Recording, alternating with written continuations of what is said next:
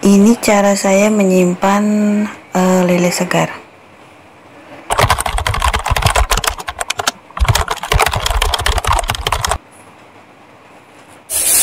Pertama-tama ini lelenya boleh ditambah langsung ya jadi segar. Dicuci dulu. Karena dari dicuci ya, tapi saya cuci lagi biar uh, makin bersih aja. Setelah bersih lalu uh, di uh, di iris-iris ya bagian pinggirnya ini biar nanti waktu gorengnya bisa matang sampai dalam.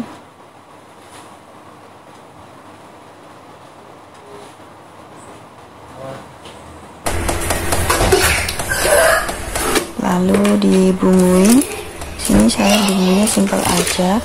Cuma saya kasih ketumbar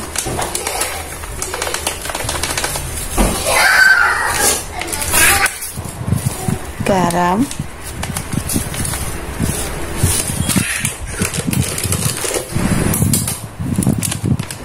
Kunyit. Kunyit bubuk.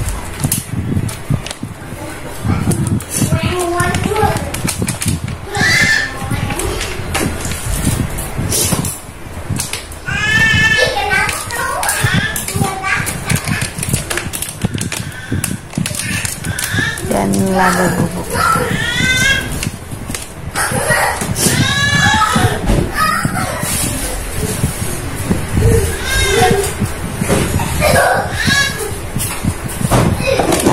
ditutup digoncang-goncang seperti ini biar uh, bumbunya menyatu dengan lelenya kemudian uh, tinggal digoreng atau disimpan ke dalam freezer Jangan lupa like, subscribe, dan share ke teman-teman lainnya ya.